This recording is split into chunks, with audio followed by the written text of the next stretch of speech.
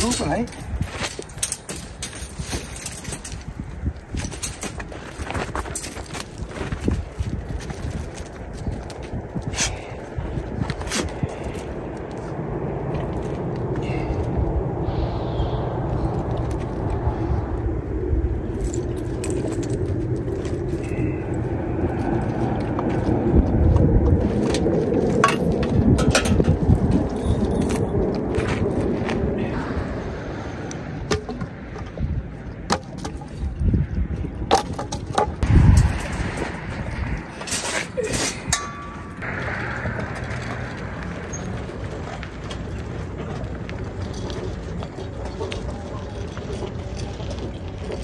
天又晴了啊！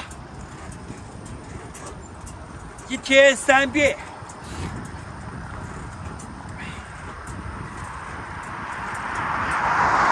反正天也好，怕我没有电了。反正每天给你晴个四五个小时，够你充电走就行。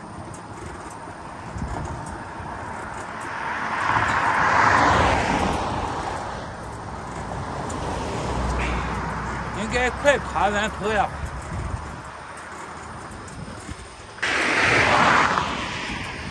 这么高的高架桥，上面是个高速啊！什么东西也是花了钱就好。看这高速，人花了钱，人就不过河，就架着这桥。国道不加不交钱，你就沿着这个河道走。这高架桥这么长，还没走到头呢，在河中间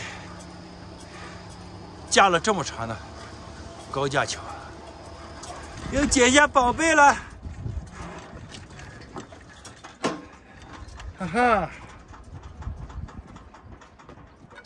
这根木头洋气不洋气？哎呀，拿着。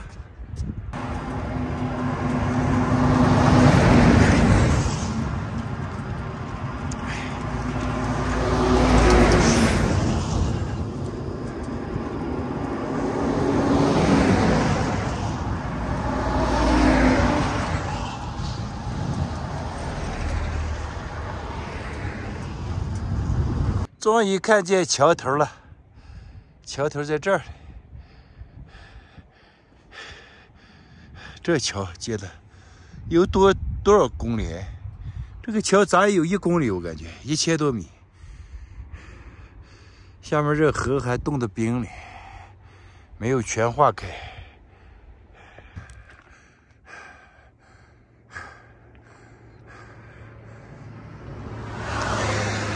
今天的天可算是晴了啊！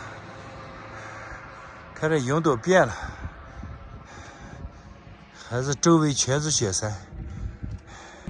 景阳岭垭口，海拔三千七百六十七，又上来一个垭口了啊！这个叫景阳岭。从山西，你要去哪？西藏吗？去东北，我从西藏出来了。嘿嘿嘿，好厉害！哎，小心小心！看，这才是垭口应应有的感觉，到处是雪啊！这才是垭口上面该有的感觉。哎，没有雪的话，感觉这个垭口上非常的荒凉。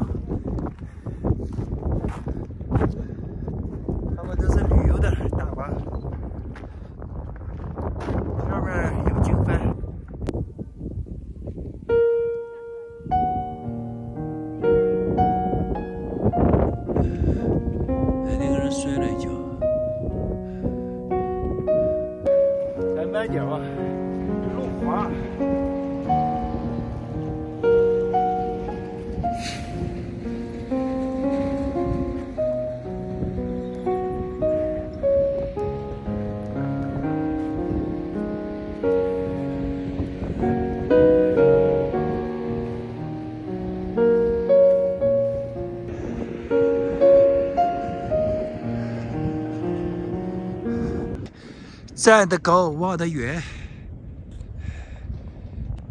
哎，下面是高速，高速和这个国道是并行的。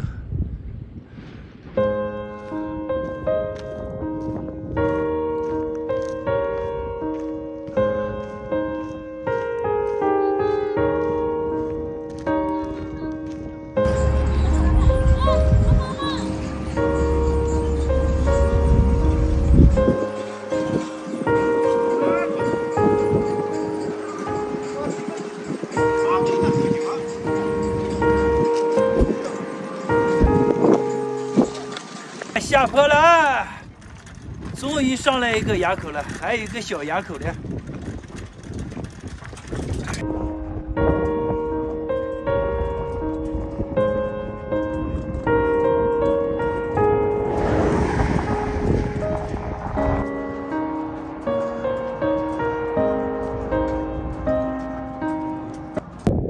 雪山下的大草原。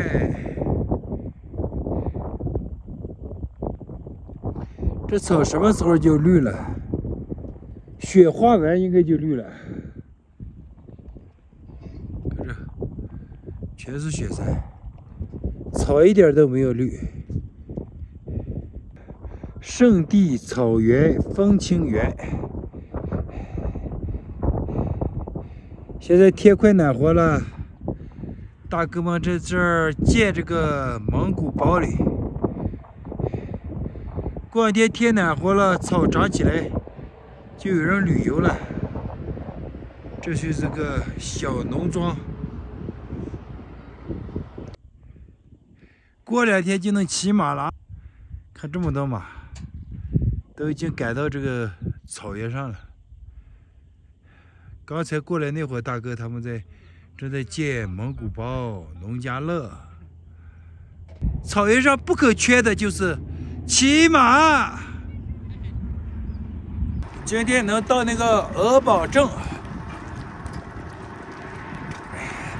一阵一阵的这天，一会儿下雪，一会儿晴，这每个草原上都搭起棚了，还有插起旗了，准备接待游客呀。到了鹅堡镇了。看，这就是鹅堡镇，再有六十多公里就到了明乐了，一百二十公里到张掖。第二天冷，我也不准备做饭了，去那边有个牛肉面馆，咱就吃点牛肉面。我去吃点牛肉面，给狗狗们也带点牛肉面算了。今天晚上不带做了，昨天晚上就没有吃饱，今天。赶了赶路，也早上起来也没带做饭，所以说就不做饭了。咱们今天去下馆子吃牛肉拉面啊！你俩先喝点水啊，先喝点水，等我去给你们往回拿饭，行吗？听话啊！哎呀，又是面，上点辣椒。今天在这个饭店里吃点面。哎，今天冷的不带做饭了，饿的也没劲了。哎，外面下开雪了，又下开了。哎呀，面这个吃着舒服，吃啥还不如吃面。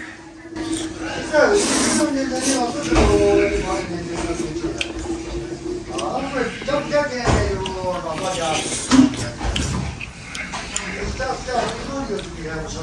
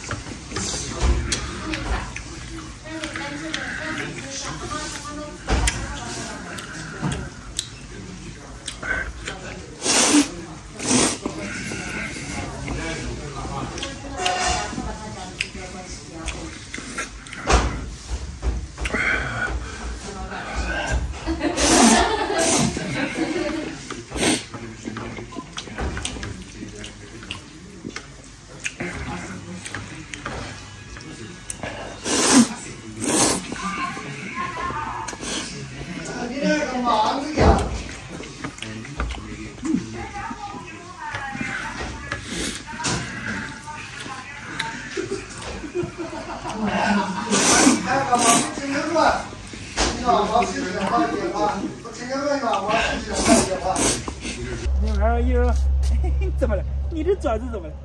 你这爪子怎么了？嗯，举着，起开！你看你不要抢嘛，左左边干啥？你看，你等会儿我给你放进去。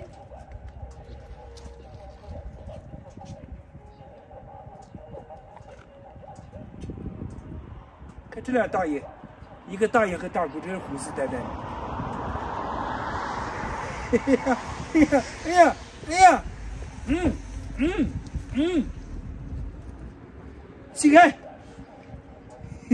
起开。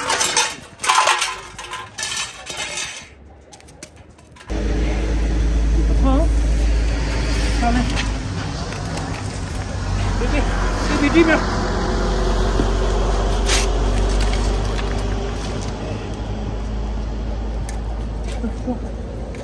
赶紧吃吃了，咱还得吃了还得去找那个地方。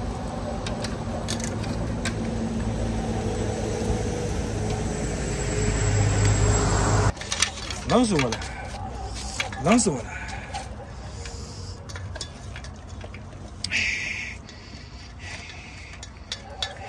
现在去找一个住的地方啊！我上来的时候看见下面有个停车场。咱就去那儿吧。这两天也不是旅游旺季，人也少，那边清静一点。这面太吵，休息不好。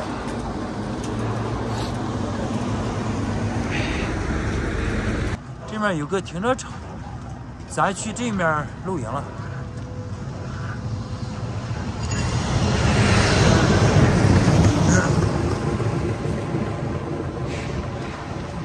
晚上的车还是多的。这两天好像是，好像是往西宁电厂调煤了。这两天车可多了，一出来就是一溜一溜一溜一溜的。好了，又把他们关狗笼了哈，关键是怕晚上天下的，呃，下不实了。今天这是个什么广场？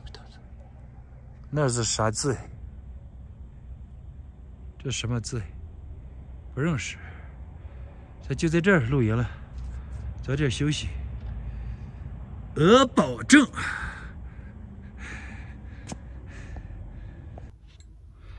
这两天赶了赶路，七十多公里的路，正常是应该是四天到鹅堡镇，因为这两天天冷啊，我实在冻得受不了了，然后我就赶了赶路。